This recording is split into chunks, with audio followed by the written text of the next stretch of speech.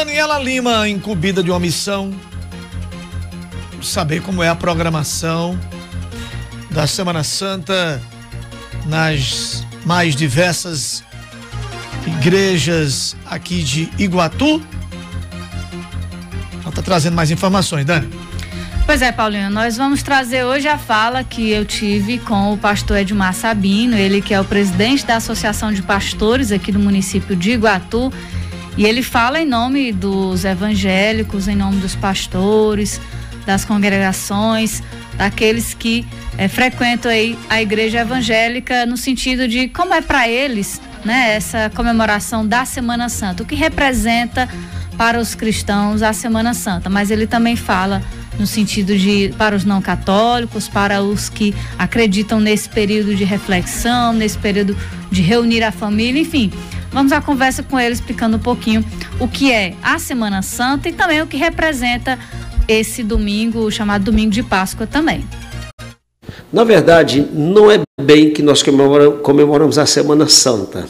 Nós comemoramos sim o cristianismo de uma forma geral, ele comemora a Semana Santa, né?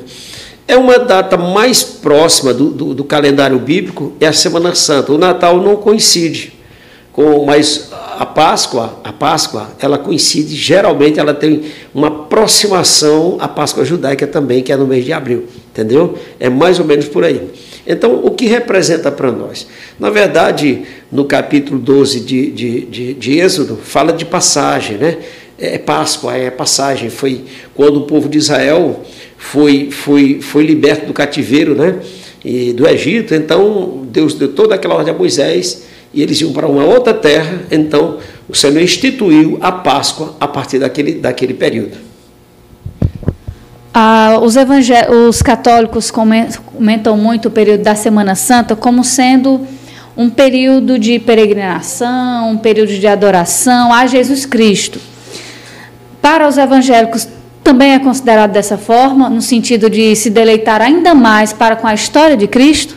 Sim, nós fazemos este período também em memória. Quase todo o segmento evangélico no Brasil, acredito que, eu acredito que é uma tendência mundial, nós memoramos o sacrifício de Jesus no Calvário. Né? É, ele é o Cordeiro Pascal, Cordeiro da Páscoa, é Cristo. Na verdade, ele se entregou por nós. Por isso, nós cristãos, de uma forma geral, evangélicos, nós comemoramos sim, né? nós reafirmamos o, o, o sacrifício de Jesus no Calvário. E como foi instituído este, este período da Semana da Páscoa, nós também, com toda certeza, teremos cultos e falaremos deste, é, deste fato acontecido na história da humanidade e que a referência maior é o Cordeiro de Deus, Jesus, aquele que tira o pecado do mundo. Assim como nas outras religiões, é um período de reflexão, é um período de se resguardar do mal, de se livrar das amarras da vida do dia a dia, do cotidiano, de tentar ser um pouco diferente, independente da sua religião? Acredito eu que, embora nós fazemos uma, uma diferença nesse contexto, porque nós não reservamos a vida para Cristo só esta semana.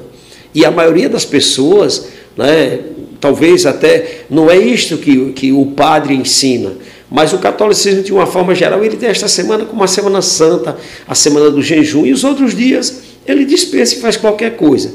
Na verdade, nós preservamos a vida para Cristo a vida toda, o ano todo, né? E esta data é uma memória, é uma memória do sacrifício de Jesus no Calvário. Nós reafirmamos o resgate das nossas vidas pelo sangue derramado na cruz do sacrifício de Cristo.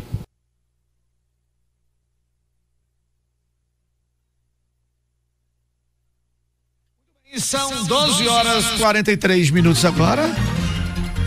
Tem segunda parte, companheira Daniela? Tem sim, Paulo, né? Essa conversa um pouco mais extensa, né? Explicando um pouquinho do que é essa a Semana Santa para os cristãos, o que representa o período da Páscoa. Vamos à continuidade da conversa com o pastor Edmar Sabino. Pastor Edmar Sabino, existem duas fases que a gente pode citar da Páscoa. No Antigo Testamento, como o senhor mencionou, a Páscoa era considerada o período da passagem. Sim. Já no Novo Testamento, a Páscoa é considerada como a ressurreição de Cristo. Mas como era comemorado antes, antigamente, nos tempos passados, como era comemorada a Páscoa? Hoje o senhor mencionou que tem outras tradições, tradições do mundo moderno, mas como é que o senhor lembra aí dos seus ensinamentos de como era comemorado esse período? Pronto. No Antigo Testamento, quando o povo do Egito, eu vou tentar resumir em palavras, no capítulo 12 de, de, de Êxodo, está aqui a Bíblia, né? O, o, o povo foi orientado a sair e cada um tinha um cordeiro, né? sem mancha, sem mácula, e este cordeiro era imolado e não podia ser comido cozido, era totalmente assado. Tudo, as vísceras, o, o, o mocotó, como a gente fala, né? Todas as pecinhas do animal e era para dar para a família. Se a família fosse pequena, chamasse outra família para não sobrar e não poderia deixar para outro dia. Né? Isto era uma representatividade de que no futuro Jesus seria o verdadeiro Cordeiro Pascal. Isto é bíblico, né? E assim eles fizeram.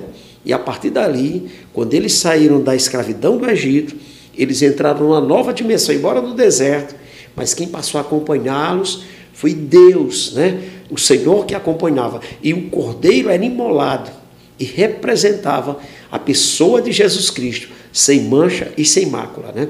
Já no Novo Testamento, para resumir aqui, quando Jesus estava para ser crucificado, que se entregou, não o mataram, não foi um assassinato, foi ele que se entregou, como está escrito em João 3,16, que Deus deu o seu Filho unigênito para que todo aquele que nele crê não perecesse, mas que tivesse a vida eterna.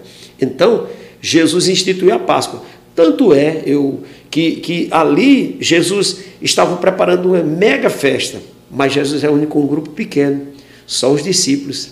E ele mandou que alguém fosse uma casa, alguém foi lá, encontrou tudo preparado para a Páscoa, né? E aí foi servido apenas pão, né? E o vinho, e Jesus instituiu a Páscoa ali, a nova metodologia da Páscoa que já representava o seu corpo e o seu sangue que haveria de ser derramado no Calvário. É isso que nós é, é, é, comemoramos e memoramos o sacrifício de Jesus. É enfatizado exatamente isto: a libertação do homem pelo sacrifício de Jesus no Calvário. Pastor, só para a gente encerrar, qual seria o seu recado para quem está nos acompanhando, cristãos ou não, independente da sua religião, esse período que estamos entrando, o período da Semana Santa, assim falado, e o período da Páscoa, que será muito em breve também. Pronto. O que eu diria, como eu tenho dito sempre é, é, no programa mais, né, mais gospel, pois ah, nós estamos aqui sempre na rádio, mas o que eu diria para a sociedade que vai nos assistir, né, que, vai ver, que está vendo este vídeo? Ah, aproveita o momento, vai à igreja, Procura uma igreja para você estar com a família. Junta a família em casa. Não é que você não possa dar chocolate. Não, você pode dar chocolate. Mas faz uma mesa com a demonstração do que realmente é a Páscoa. A mesa é o lugar da comunhão. Foi isso que Jesus fez. As pessoas não se reúnem mais para comunhão.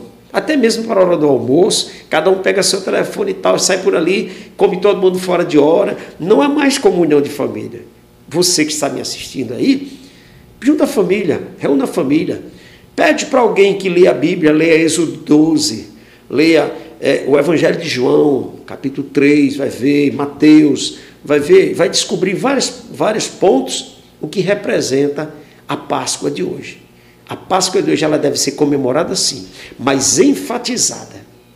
Não que a sociedade quer, mas que Jesus é o Cordeiro Pascal que tira o pecado do mundo. É Atos 4 e 12. E nenhum outro a salvação, porque debaixo dos céus nenhum outro nome foi dado entre os homens pelo qual devamos ser salvos. E devemos sim comemorar a ressurreição de Jesus Cristo. A ressurreição dele é o perdão dos nossos pecados, é a nossa ressurreição também. Então eu diria, a família, junta a família, conversa com eles, vá à igreja, escuta o sermão que fala da Páscoa e vai mudar completamente a mentalidade acerca do que verdadeiramente é a Páscoa. A Páscoa é Jesus Cristo em nós, é uma nova vida em Cristo Jesus. Bom, tá aí, né? O convite, a reflexão, a explicação ah, do pastor Edmar Sabino para com a Semana Santa e também para com o período da Páscoa. Como ele bem mencionou, o cristianismo de uma forma geral, assim como tem em todas as em, na maioria das igrejas, independente da sua denominação, seja igreja evangélica ou católica, o cristianismo é um só. E aí fica o recado dele quanto pastor, quanto representante da Associação de Pastores aqui do município de Iguatu, mas também como cristão. E você que está nos acompanhando pôde entender aí um pouquinho do que é esse período da Semana Santa e o que é esse período da Páscoa. Aqui estamos já começando.